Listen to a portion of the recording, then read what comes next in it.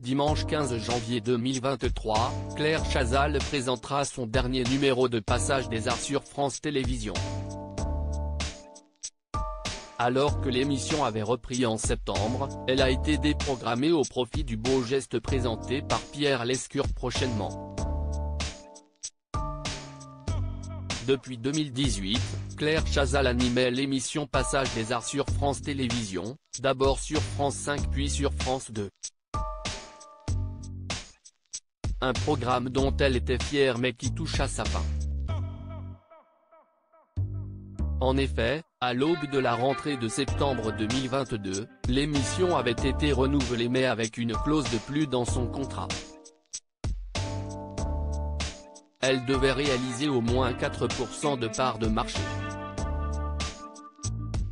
Mais voilà, l'émission de Claire Chazal a continué de faire des audiences trop basses aux yeux de la chaîne.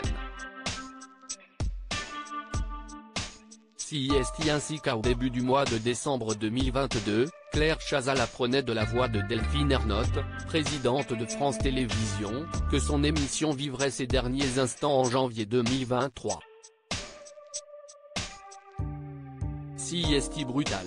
Et CIST un grand sentiment d'injustice. A-t-elle confié le 8 décembre à Télérama? Elle a appelé La Terre entière son émission sera remplacée par un nouveau programme intitulé Beau Geste. Animé par Pierre Lescure, il sera dédié au 7e art. Une décision qui a créé beaucoup de remous au sein de France Télévisions, rarement une deuxième partie de soirée a provoqué un tel bazar. Claire Chazal était furieuse. Et, comme à son habitude, elle a appelé la terre entière. Décrit une source proche dans les colonnes du Parisien, dimanche 15 janvier 2023. En effet, durant plusieurs semaines, les téléphones ont sonné chez France Télévisions, selon le journal. Dès l'automne, les équipes de l'émission Passage des Arts avaient eu des soupçons.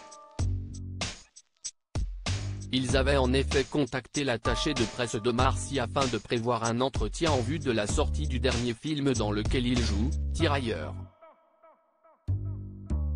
Claire Chazal était désireuse de l'intervieweur. Mais voilà, l'attaché de presse a indiqué que l'acteur avait d'or et déjà été contacté pour un entretien pour une émission qui serait en préparation sur France Télévisions. Quelques semaines plus tard, Claire Chazal apprenait qu'elle quittait sa case sur France 2.